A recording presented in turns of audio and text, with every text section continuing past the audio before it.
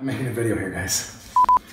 For 75 years, Horace Mann has had the opportunity to walk into your schools, giving us a unique glimpse into educators' lives. We have worked with you to find ways to protect what you have today and provide a more secure tomorrow.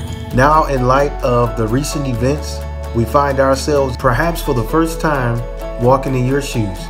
Juggling the challenges that you face every day. We realize that you're the glue that hold our children, their parents, and this country together. From all of us at Horace Mann.